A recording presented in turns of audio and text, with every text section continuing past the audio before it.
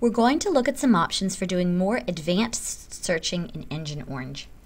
If you start from the library's homepage at library.shsu.edu, look for the Engine Orange logo in the center of the page.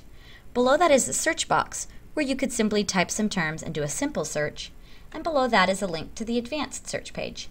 When you click that link, it's going to bring you here, and you'll see you have options for building a more complex search than what you could achieve in the simple box on the library's homepage. You still have boxes here to enter in search terms, but you now have a drop-down menu with options to specify exactly what kind of information it is that you're entering. For instance, are you searching for a particular author's name or the title of a specific book or article? Below those search boxes, you also have additional options. You can search only for online full text things that you can access and read electronically instead of coming to the building to get them. Or you can check another box to search only for articles from scholarly and peer-reviewed journals. You also have options such as the dates that something was published, language, etc. So let's look at putting in a search. Let's say that you are looking for information about global warming, and maybe you want to understand how global warming is affecting penguins.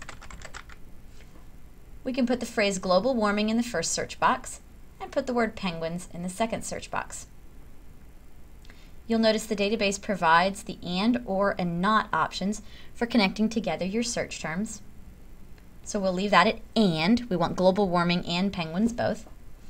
And don't forget to put quotation marks around exact phrases in your searching. I will click the search button and wait for the database to bring us back our search results. And here they are. Once you're on the search results page, you have some additional options for narrowing your results down further.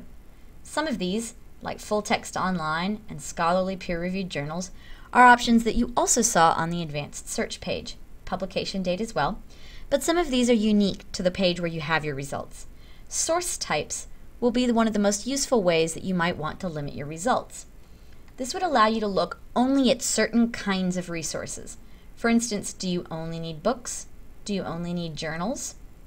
Anytime you're looking at one of these options, like source types, or any of these other headings down the left-hand side, click the Show More link to see more options than just what it shows there. So for instance, we could see journals, books, etc. But once we click Show More, now we can see biographies, videos, and all of these other options that we couldn't see a moment ago. You can check one or several of these boxes to indicate what kind of material you need. Let's say for this research project, we want to find academic journals and books, but we don't want to find reviews, reports, or any of these other types of things. So we check those two boxes and then we click Update. The database is now going to redo your search with the new limits that you have placed and bring back an updated list of results. Now some of the other options you'll see on the left that you might want to use at some point, there is a checkbox for catalog only. The list of books that are shown in Engine Orange includes books that are owned by the SHSU library and books that are not owned by the SHSU library. If you check the catalog only box, it will help limit you only to sources that are actually listed in our catalog and will eliminate some of those books that we do not own. You also may want to look at headings such as Subject, which takes a look at the words you entered for your search and then suggests some more precise subjects that might relate to what it is you're looking for. You can review these, and if any of them sound more precisely like what you're interested in, you can check one or more of these and use them to refine your search. Publication can also be useful if you're trying to find articles only from certain journals, magazines, or other publications. Now there is one other thing we should notice here when we're looking at our results. There's another menu bar here down the right. What is this? This is what we call integrated search connectors. Really big term. Basically, this is giving you access to some additional databases. So in Engine Orange, you're searching our catalog and quite a large number of our electronic databases that contain articles and documents, but not every single one of our databases can be in here. And that's because some of them simply aren't compatible with the technology behind Engine Orange, or they simply have not partnered with the company that provides the Engine Orange technology. However, some of the databases that cannot be integrated into these results can be pulled into this right-hand bar. So say you see a database over here like Gale Opposing Viewpoints in Context. You could click the link to that database and see the 57 results that were found for your search terms in that database. So this is just a little bit of a way to expand your search beyond what you initially find in Engine Orange. One last really neat trick I want to point out to you for advanced searching purposes is this Alert, Save, and Share button.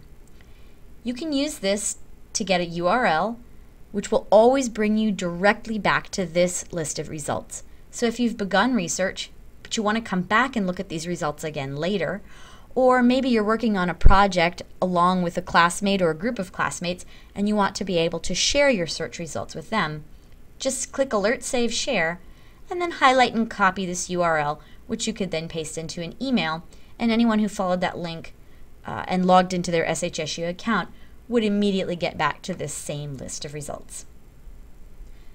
So that's just a very quick look at advanced searching in Engine Orange. Don't forget that at any time you can click the new search link in the upper left corner to begin to get back to the advanced search page and begin a new search.